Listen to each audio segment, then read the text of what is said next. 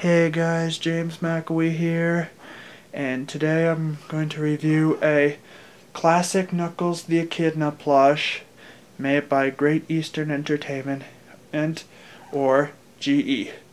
And um, I got this for my 23rd birthday, and um, yeah, there was also a there was also a and um the this one is from the classic Sonic the Hedgehog series. There was also a Sonic, Tails, and Amy Rose plush. And um, these plushes are very liked by fans. And um, the thing is, Sonic X released a Sonic plush, and a and an updated Knuckles plush, and a Tails plush, as well as a Cream Rabbit and Shadow plush. And um, Nowadays they have a um, an updated Sonic plush, an updated Shadow plush, which I will show in a later video. And um, they also have a um, a an updated um, Chao plush, as well as an updated Cream Rabbit plush. Mm, and a Supersonic plush as well. Now before I cover the plush itself, let me um, show you something. I got a, I see that drawing up there? It's my own drawing of Woody the Sheriff in Woody's Roundup. I drew that with some crayons that my mother had had that were old but looked brand new. Mm-hmm. Who?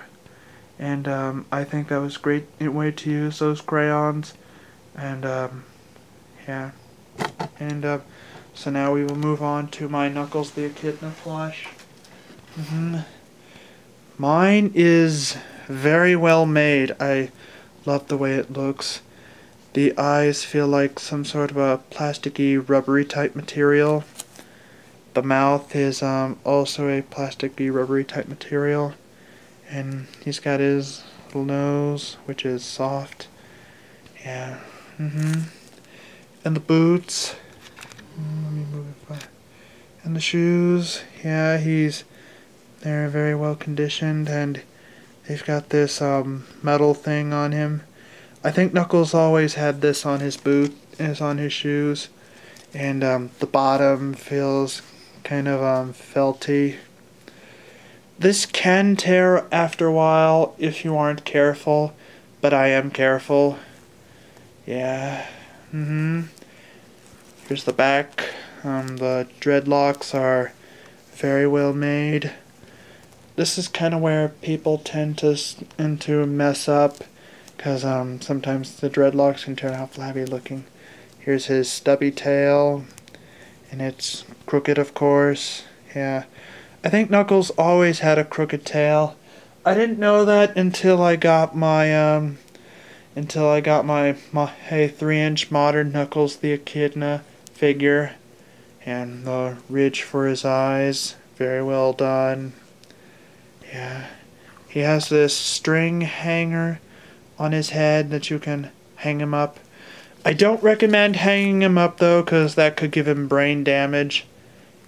Yeah what he said. Mm-hmm. And here's the V on his chest. And it's white. And looks very well done Let's see the fists. Two spikes.